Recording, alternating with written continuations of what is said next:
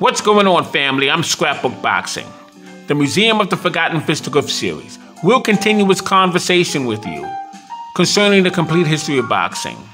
Now, I have a real good one here for you. The newspaper headlines had their works cut out for them.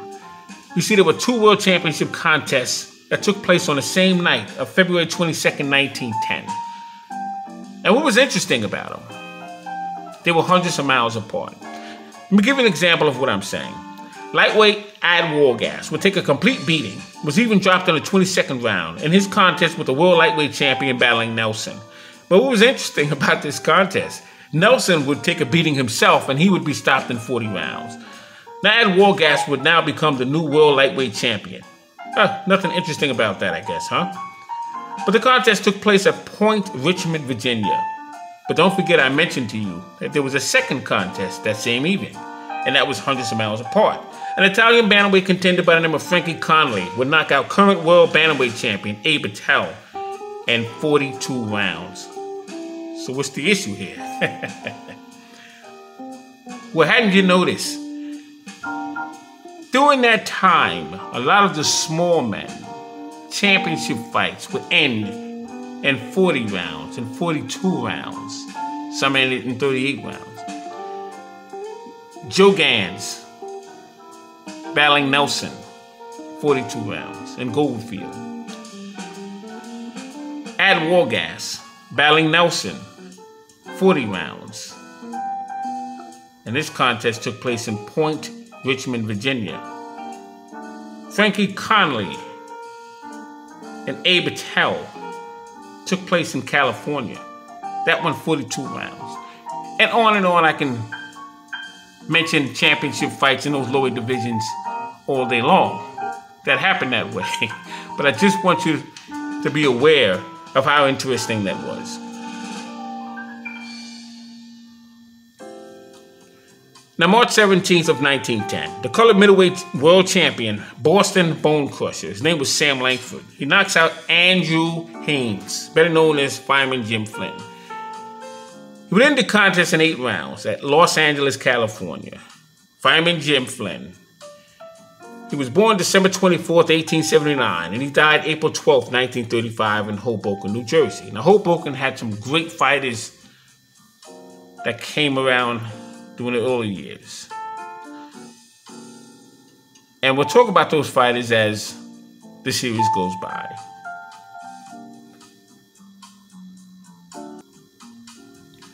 On April 27, 1910, the world middleweight champion, Michigan assassin Stanley Ketchel, would face the Boston Bone Crusher, Sam Langford. And the contest would go six rounds. It would be a no decision contest, which means that the middleweight championship title was not at stake.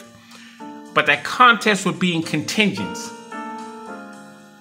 that Sam Langford would get another crack opportunity, this time officially for the title. Unfortunately for Sam Langford, and of course, Stanley Ketchel. But Sam Langford would never get that second opportunity for the middleweight championship title because Stanley Ketchel would unfortunately be shot and killed by Walter Dipley.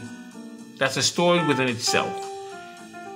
And Sam Langford would never again get an opportunity on paper to get a shot at a world title. Now, there was an agreement with him and Jack Johnson, speaking of Sam Langford.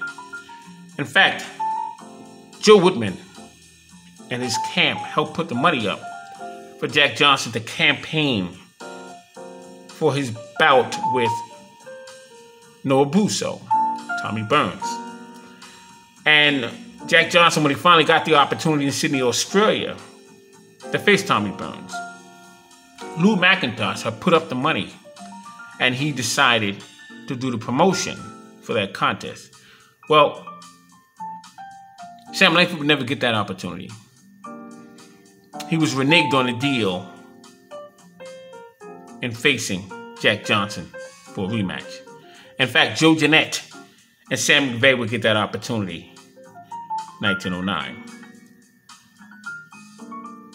But Sam Langford was somewhat of a good sport about it, but he called out every single contender and or champion from the welterweights I mean, going down to the lightweights with Joe Gans in 1903, but going all the way up to the heavyweight division, including Jack Dempsey and Boilermaker Jim Jeffries and many others.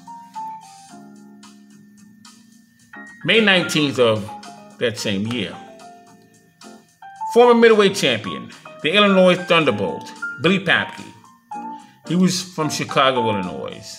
He would knock out a former Stanley Ketchel opponent by the name of Joe Thomas in 16 rounds in San Francisco, California. Now, William Herman Papke Sr. stood 5 foot 9 inches. He was a middleweight. He was out of Spring Valley, Illinois. He had 63 total bouts, two time world middleweight champion, and he faced Stanley Ketchel, Hugo Kelly, Joe Thomas, Frank Klaus, George Carpentier, Frank Mantell, and Cyclone Johnny Thompson, Bob Moha, just to name a few. He was an outstanding fighter. But I remember the night, or reading about the fight when Stanley Ketchel would face him. And Papke would wear these G strings, if you will, or boxing trunks, somewhat underwear. And Stanley Ketchel said, I'm not getting in the ring with this man like this. And they threatened Stanley Ketchel's purse, so he had no choice but to face him. And that was some contest. But lightweight Patrick McFarland, who was a former champion, and Freddie Welsh, who would become a future world lightweight champion. Matter of fact, Freddie Welsh would lose his title to the Ghetto Wizard.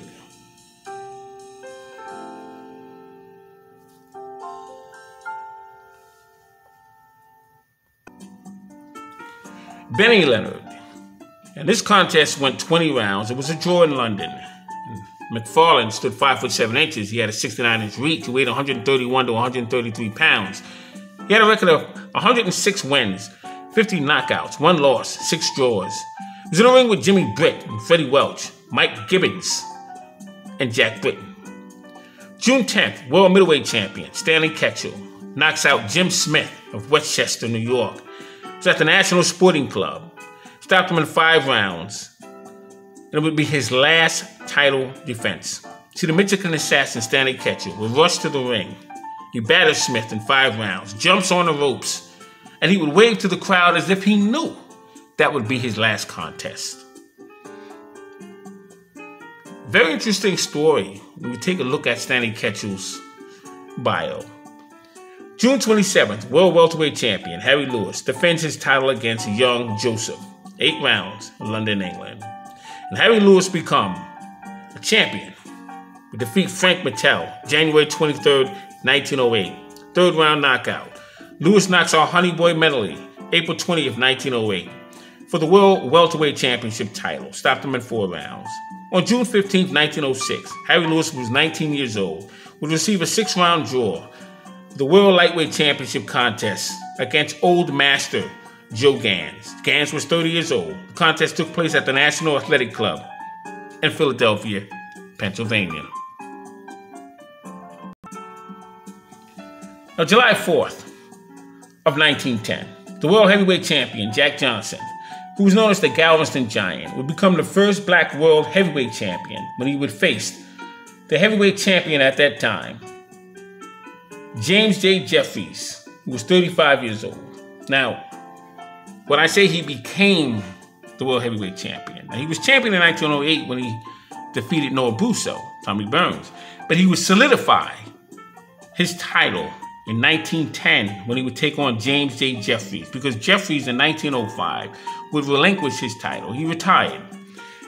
And he was undefeated coming into this particular fight.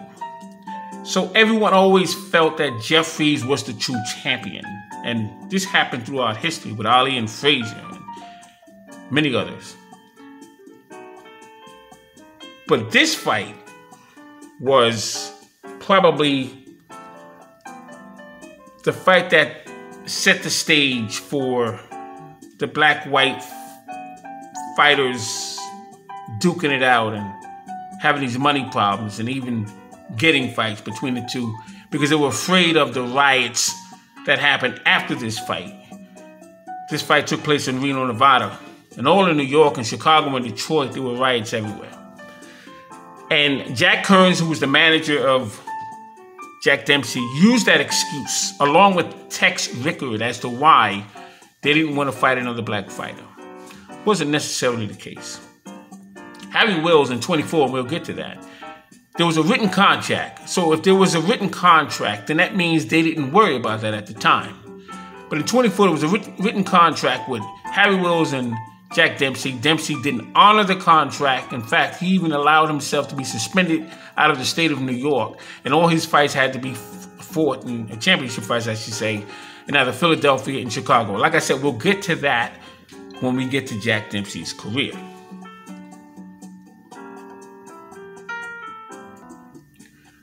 Now, I believe I mentioned this to you. The announcer Billy Jordan was in the ring with Jack Johnson and Jim Jeffries fight, and he introduced some former world champions, middleweights, light heavyweights, and heavyweights. He introduced Ruby Robb, Bob Fitzsimmons, who was a three-weight division champion. He introduced Stanley Ketchel, who was a former two-time middleweight champion. He introduced Abe Attell, bantamweight, featherweight champion. He introduced John L. Sullivan, who was the America's bare knuckle champion. He introduced Philadelphia Jack O'Brien, who was a light heavyweight champion. He didn't introduce the Barbados Joe Walcott, Barbados Demon. He didn't introduce the Boston Bone Crusher, Sam Langford. He didn't introduce Joe Jeanette, the Iron Man of West Hoboken. He did not introduce Sam McVey, the Oxnard Cyclone. And he didn't introduce Joe Gans, who was briefly there for a moment before he had to jump back on the train and go back to Baltimore to his mother's house, and he would die two weeks later. Shows you the times, but also goes to show you when Jack Johnson would finally get in the ring with Jeffries, he would battle him for 15 rounds. The fight was scheduled for 15, but before the fight would be over, Johnson wanted to make sure he took care of Jeffries because you never know how the decision would go, although Jeffries was taking a beating throughout the entire fight. And once that happened, and Corbett, Gentleman Jim Corbett, who was a heavyweight champion as well, would shout out racial slurs constantly to Jack Johnson, calling him the N word, Yellow Street, a buffoon, a monkey. Everything in the book was said to Jack Johnson from Corbett, who was somewhat the poster child of boxing during that time. And Johnson would get rid of Jim Jeffries before the round was over. Oh, riots all over the place. Chicago and New York and Detroit. Men were hung, little boys were beaten half to death by grown men. This is what happened after the Jack Johnson fight and Jim Jeffries. I'm Scrapbook Boxing the Museum of the Forgotten Fisticuff series, stating all great fights and all great fighters will never be forgotten on my channel. We'll continue this conversation with you in our next video. Thanks for watching.